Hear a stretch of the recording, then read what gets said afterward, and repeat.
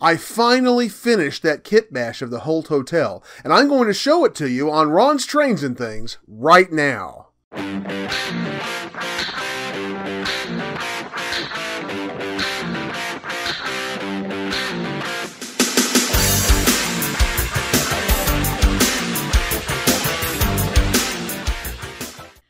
Hi, I'm Ron of Ron's Trains and Things, and if you'd like to see more videos about model railroading tips, tools, and techniques, then be sure and subscribe down below and click that little bell icon so you can get notified every time I upload a new episode. Well, I've been working on a kit bash of the historic Holt Hotel in downtown Wichita Falls, Texas for about two months now. I've already shared with you three videos in this series showing how I used three of Design Preservation Models Hilltown hotels to kit bash together to make the main part of the structure, as well as some modular wall sections from the same company to make the upper floors of this hotel. I showed you how I did the basic and the detail painting and installed the windows. And I showed you how I built shadow boxes in order to light certain portions of the building to make it come to life. Well, today I'm going to bring you the fourth and final installment in this video series. We're going to do some final interior detailing in the lobby area and install the last bit of lighting. We're going to install window shades and curtains throughout the building. We're going to finish the roof and put on some roof details, including a rooftop sign for the Holt Hotel. And then I'll be building some awnings to go on the windows on the first floor. Finally, I'm going to put the structure on my layout and show you exactly where it fits and how it looks on my layout. Well, that's a lot to get done, so we better get over to the workbench and get started.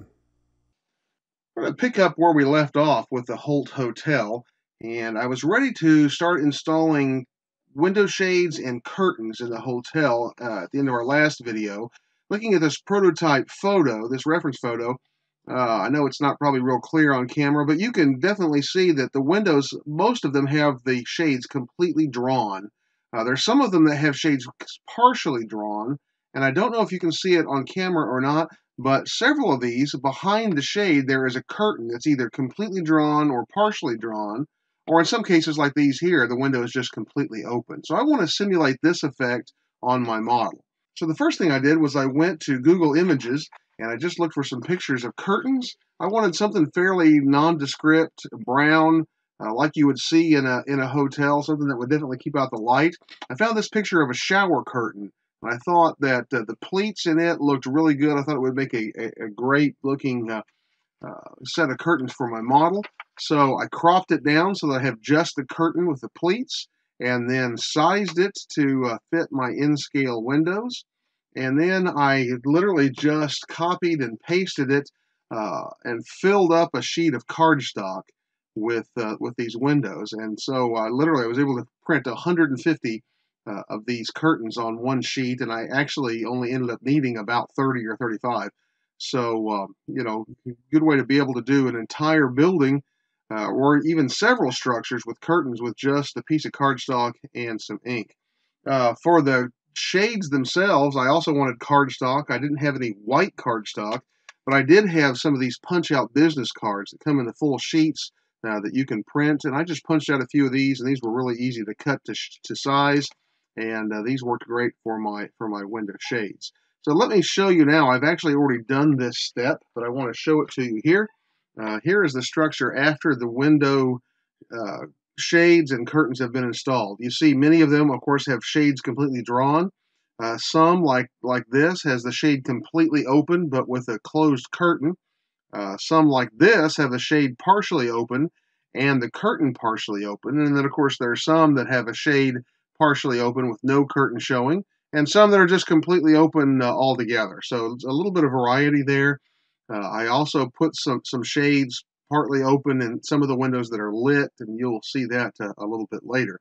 Uh, I'm going to turn around here. I have the back off of the building, but I just wanted you to see kind of how I glued these in place. Literally, a lot of these where I have large blocks of windows that have the shades closed, I just cut long strips, uh, glued it in with some of that canopy glue in between the windows, and it held it in real nice. Uh, other places, I, I, cut strips that were shorter to do the partially closed shades, and then, of course, the little brown um, pieces of cardstock you see there are are my simulated curtains. So this uh, this step has has come out really really well, and I think it's going to give a real pleasing look and a very prototypical look according to the photos that I have of what the Holt Hotel looked like. The next step that I'm going to take on the hotel is this roof sign. You, you can't get a real good view of it here. I'll, i hope to show you a, a better picture. I, I, have one somewhere uh, of this roof sign uh, that uh, literally says hotel on it. That originally said Holt Hotel, and uh, but in latter years, after it no longer uh, belonged to the the Holt family, and no longer was the Holt Hotel itself, they took the Holt off.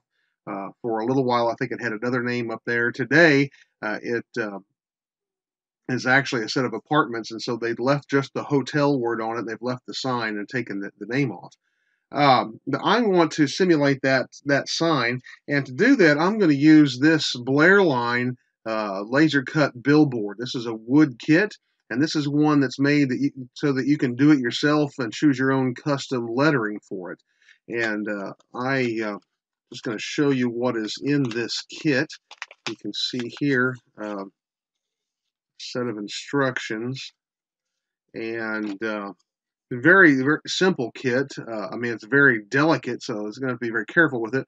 But uh, but a simple kit in that it literally only has uh, about seven pieces to the to the sign structure itself. And then of course it has all these letters that uh, we can cut out and and put on it little set of instructions literally shows you just how simple this kit is. So uh, you, you, if you've never done a, a, a wood kit, uh, these are pretty simple. Uh, I actually have a video on doing a Craftsman wood structure kit, and if you want a uh, little guidance on doing a wood kit, I'd advise you to go look at that video that I did several weeks ago, and that'll show you exactly how I do this. I'm not going to do this on camera, but but uh, I'm going to go ahead and put this together, and then we'll come back and take a look at it. I've actually accomplished several things since my last segment, uh, but I want to show you some of the things that I've done. First, I showed you in the last segment uh, that I was going to be building this rooftop sign, and uh, here is the, the completed sign. Uh, I just put the sign together exactly per the instructions from, uh, from Blair Line. Um, pretty simple, gluing together a simple little wood structure. Um, painted, I painted the support structure uh, with a light coat of gray primer. Actually painted the same uh, primer onto the letters themselves. Then I came back with a, uh, a, a, wood color. I think it was actually called leather that I painted the uh, support structure with. I painted the letters with a bright red. Uh, of course, I didn't want them to be a, too bright of a red, but I wanted to start with a base red, and I came back and dry brushed them with a very light gray and then dusted them with some weathering powder, some pan pastels, uh, just to give them a weathered look. So that's our, our roof type top sign, and it's uh, it's looking pretty good. Then the roof itself, I've actually uh, done a lot of work on. Also, this is that same styrene roof that you've seen on the very top uh, for for some time. I literally came in and roofed the uh, the roof, covered the roof with um, a strip roofing that I made out of simple paper, just printer paper. I have this X-Acto paper cutter uh, that is wonderful for cutting strips of paper like this. These were narrow strips. These are four scale feet wide, and then I lapped them a foot so that you actually see three scale feet showing with each one. So that's a, that's a pretty narrow. That's about a quarter of an inch strip. And uh, this, as you can tell, it matches my cutting mat. I bought these together.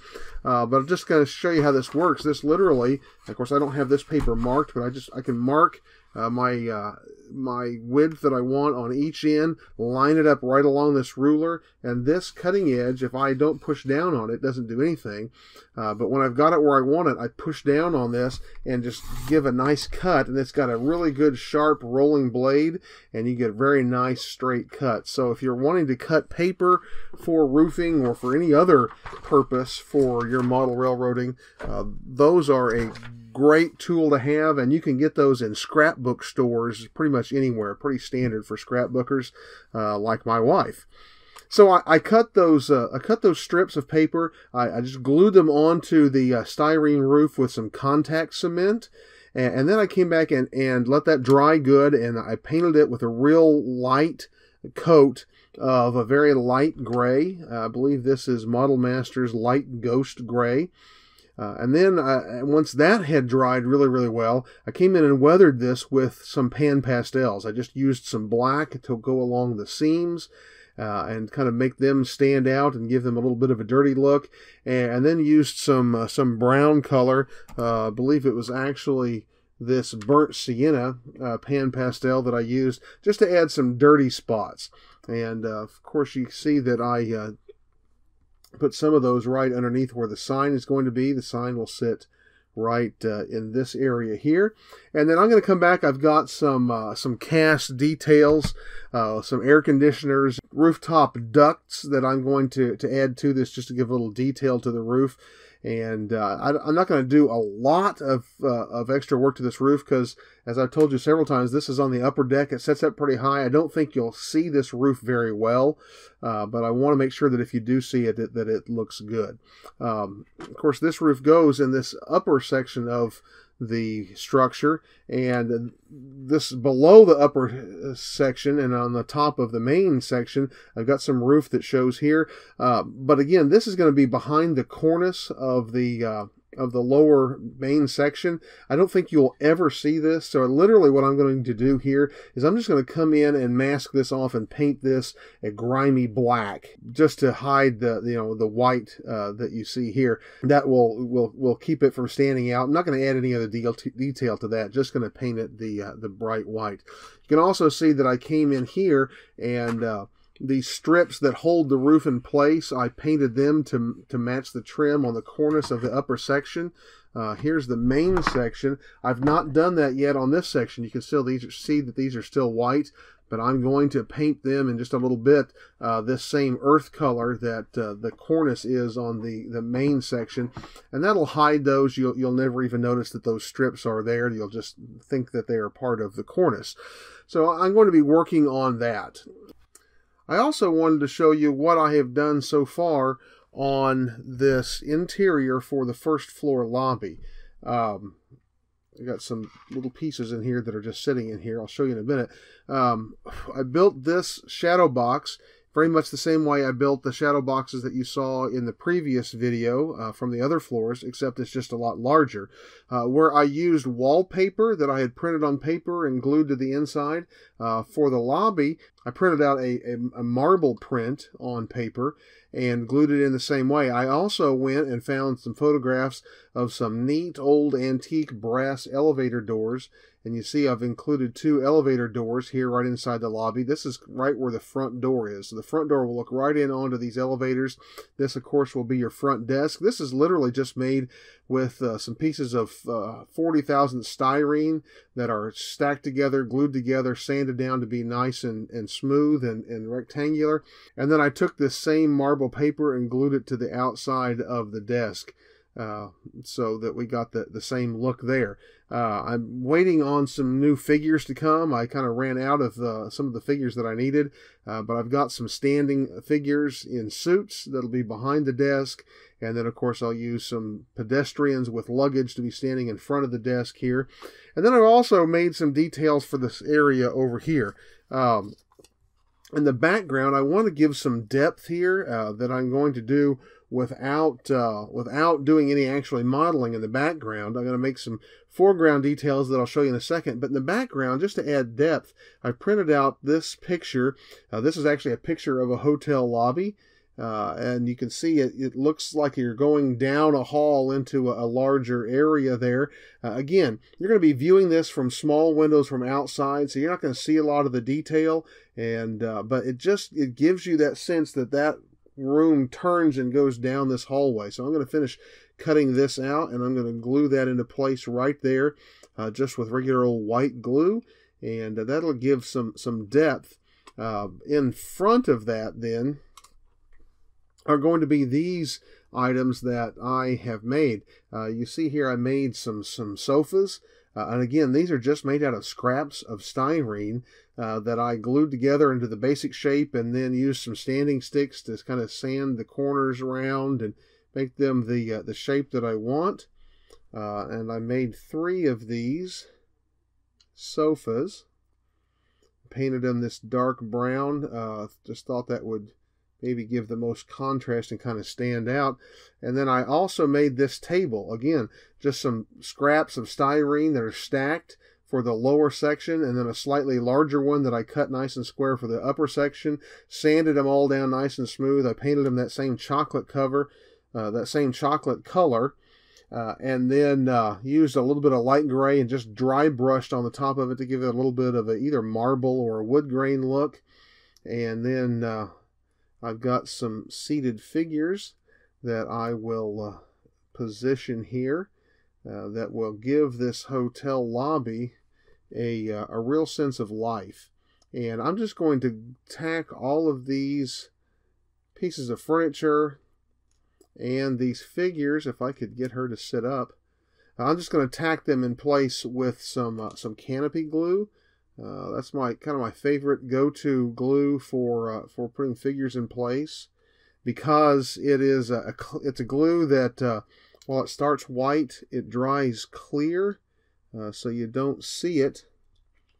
Um, but also, it uh, it remains tacky. It doesn't get brittle or rigid like Elmer's glue will. It remains a tacky, flexible. Uh, and so, if you ever want to remove and, and move your figures, you can do so. So you see there, you kind of get a little bit of a sense of of how that's going to look. I, I, can't tilt that too much because because my figures will fall just like that. Uh, but I'll, I'll, glue those things in place, get my other couple of figures, and that's going to give some nice detail and some nice depth. Oh, I almost forgot. Uh, my last couple of pieces here, just to add some detail, is I made some some potted trees. Uh, these are literally just some little scraps off of some super tree armatures uh, that I, I, painted a gray color. Uh, I added a little bit of leaf flake uh, to it, and then uh, the the pots are just little scraps of balsa wood that I cut to square uh, and painted. Used kind of a yeah, boxcar red paint, and then dry brushed it with some gray to give it a little bit of a terracotta look. So uh, I'll put those in there to also add a little more uh, detail to uh, to that lobby. So I think that's going to look really really good. Uh, looking through the windows, I think it's going to make a very nice detailed lobby, and uh, I think it's going to I think it's really going to be convincing. Going to add some life to the hotel. I'm working on the awnings for the front of the hotel now, and you see I've got a piece of uh, the scrap that I cut away from uh, the kit bash process just to practice with. And uh, I've worked a little bit at making some awnings out of paper. And I've come up with this one that I think looks really good. It really uh, represents the awnings that are on the actual Holt Hotel pretty well. Now, it's not glued on here, it's just sitting on here. Uh, but I'm going to show you how I am making these because uh, this process I think is going to work pretty well.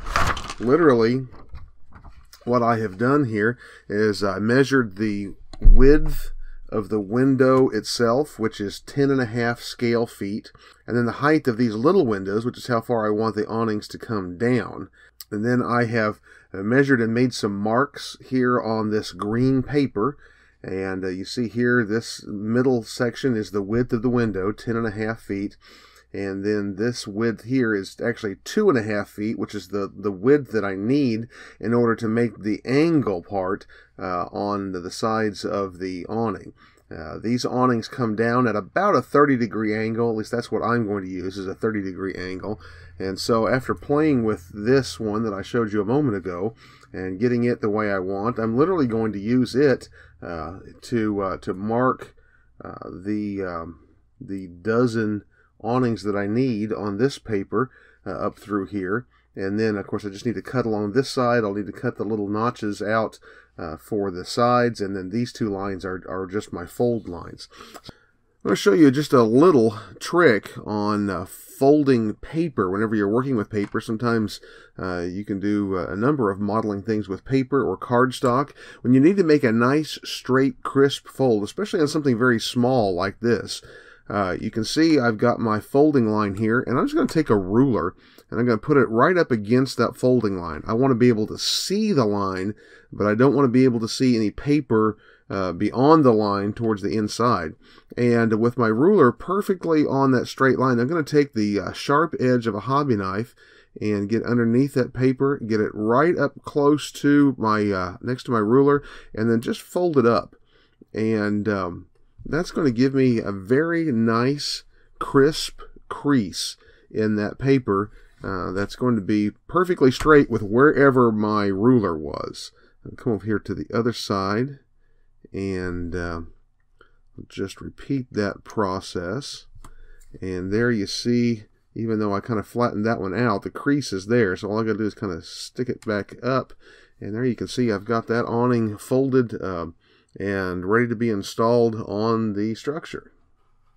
I've got all of my awnings cut out and you see I've gone back to this scrap piece uh, just to test how I was going to install them and uh, I found out a process that's just really easy and is really working well. So I'm going to show you how uh, I installed this one and how I'm going to install these on the, uh, the hotel itself right now. Literally what I am doing is I am just using white glue. Uh, I've got to get these the right direction because this little side's one side is longer than the other because it's a 30 degree angle, not a 45.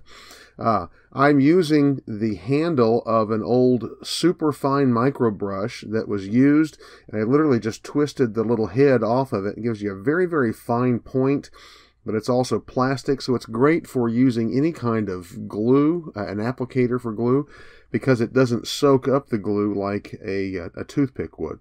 So I get just a fine droplet of glue on my uh, on my little applicator here and I'm just going to put a very very fine line just on the edge of this paper. Uh, now the one edge will go along the building, uh, along the top of the windows, and then these two little short edges will go down along the sides and I just need to trace them out. It doesn't take much at all. Um, I'm going to have to turn my structure because otherwise I'm going to be working left-handed.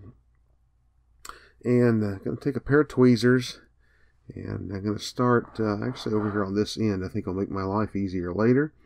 And I'm just going to glue that in right along that top right there. And I'm going to tuck in the edges just a little there to make sure that they are in the right spot.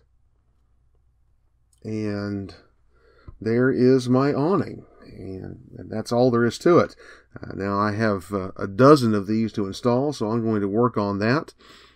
And there we have all of our awnings installed. And I'm going to allow these to dry for just about an hour or so just to make sure that white glue is really uh, well dried and set up. And then we're going to go install this on the layout and we'll see how that looks. This is the location where the Holt Hotel is going to be on my layout. Uh, I have come in uh, in the area where uh, the light wires need to go and I've drilled a 5 16 hole right here. I marked the backdrop a little bit with my drill as I was doing that, but that's going to be behind the structure so uh, you, it won't matter. You won't see it. Now I'm going to bring my structure in and I've got all of these little wire plugs that have to be fed down into that hole. Try to do this so that you can kind of see what I'm doing. And last one.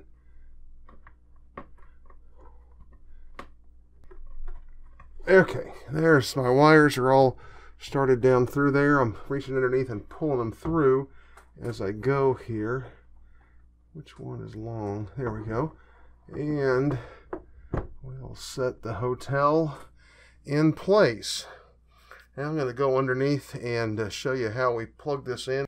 Here we are underneath the upper deck of the layout, underneath the benchwork here. And here you can see my Just Plug hub. I literally uh, just screwed it to the bottom of uh, the sub road bed, the bench here. Uh, the screws that uh, screw the hub in place literally just stick through less than a quarter of an inch. So it was easy to screw it in here and uh, not cause any kind of damage up above. Uh, you see the power cord runs back here behind the backdrop of the lower deck and just runs down into a power strip uh, just below the uh, the lower deck there and is plugged in. And here are my plugs for the uh, the wires here for uh, the lights themselves. I have these numbered because I wanted them in in a certain order. You see, you just come up here and plug them in, and uh, not sure how easily I can do that because the camera's kind of in my way. Uh, but you see, I, we'll just plug them in right here. We have the adjustment knobs here to adjust the brightness, and uh, we will have our structure lit and uh, ready for display. Here's a nighttime shot of the Holt Hotel. Uh, you have to uh, adjust the lights differently for when it's on camera than when you're looking at it live. Uh, live, right now, these lights are, are pretty dim, although they certainly do show up in this lower light. Uh, but they tend to kind of bleed and, and wash out on camera, so I've turned them down a little bit just to get a better effect on film. But uh, you get the idea here of kind of what the lighting effect in uh, nighttime mode looks like. And now let me show you some shots with the lights on from, different angles and showing you more of the whole scene as it uh, as it is at the moment. And here's a little different angle, a little wider view, kind of gives you a sense of this scene as it's just beginning to come together. Uh, this warehouse, uh, kind of in the foreground, will partially obscure just the end of the Holt Hotel. Uh, there will be a street that runs in front of the hotel here and curves and goes back to the side. And that old warehouse will obscure where the street goes uh, out of sight in the scene. This isn't going to be the exact warehouse, although I am going to use another example of this same kit built like this, painted a different color. All the doors are going to be bricked up. This office part uh, won't be here, so just this part uh, will sit out here. I'll be filling in the uh, backdrop over here between Dorchester Grain, the Holt Hotel, and some on off to the left with some more flats and uh, some low relief structures as well as probably uh, some photos for uh, the backdrop here to give you some more of the downtown Wichita Falls skyline view. And I think the scene is going to uh, complete really well. But the kind of focal center of the skyline is going to be the Holt Hotel, a, a very recognizable historic old structure near the yard in Wichita Falls. And uh, I'm glad to have this structure on the layout. It has taken a long time. been working on this structure for well over two months off and on, but uh, I am very, very pleased with the way that it came out and uh, it was time well spent. I hope you've enjoyed this video and this series on kit bashing the Holt Hotel. My kit bash didn't come out as an exact replica of the prototype, but it does make a very nice representation of the Holt Hotel in Wichita Falls. In fact, I believe that anyone who's familiar with downtown Wichita Falls would immediately recognize my structure as the Holt Hotel. If you've enjoyed this video, then be sure and give it a thumbs up down below. And also share it on your social media, on Facebook model railroad groups, on model railroading forums, anywhere where model railroaders hang out. You never know when someone else might benefit from something that we've shared in this video and in this series. Also, check out the description to this video down below, where in addition to my usual Amazon pick of the week, you'll also see a link to my brand new Amazon influencers page.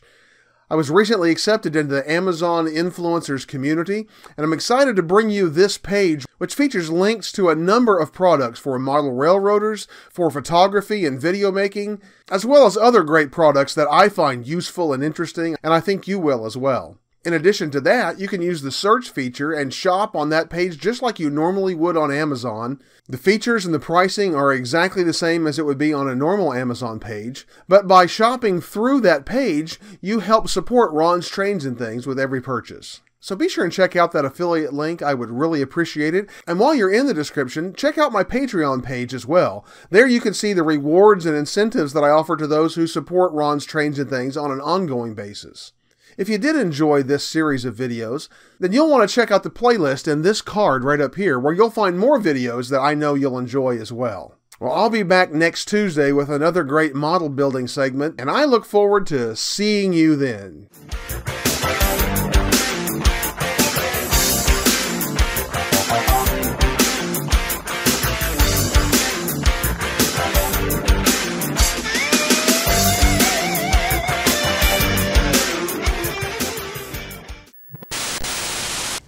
Tin Lizzie?